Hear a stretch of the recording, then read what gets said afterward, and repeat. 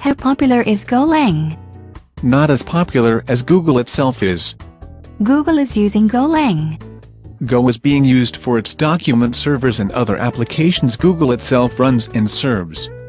It isn't used as often by people who have a choice. Google is the 900-pound gorilla of the internet. Do we have a choice? HTML5 makes JavaScript the default language for everything from built-in web apps to the canvas elements that rival Adobe Flash. Go is increasing in popularity, which is surprising because Google's Dart language missed the target by a wide mark. Go has the advantage of being tailored for Google's cloud servers, and people who want to use those servers have a reason to use Go.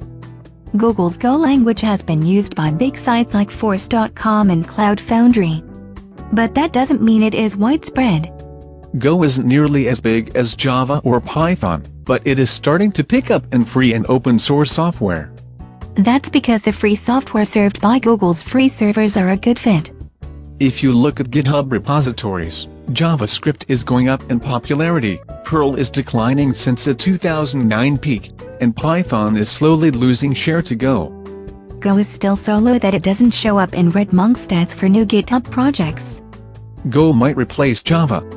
I thought Scala was the replacement for Java. It even uses the Java Virtual Machine and lets you plug and play with Java code modules. Go is growing in popularity. That reminds me of the XKCD joke where a guy responds to my religion is the fastest growing by founding his own and getting a friend to join, causing 100% growth overnight. Go is so low it could quadruple and barely make a dent except at Google. It has a long way to go before it is a major force. And that's assuming more people boycotting Google for giving all our data to the NSA.